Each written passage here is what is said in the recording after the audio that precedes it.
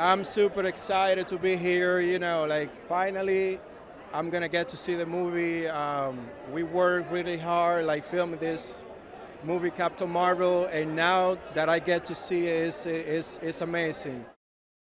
To be honest with you, it's like to me, and I know to many other like kids in my country, Latin America, you know, this is like a dream come true, because when you grow up, like watching all these characters, like uh, reading the comics, you know, and watching the movies, and then all of a sudden I'm part of this film.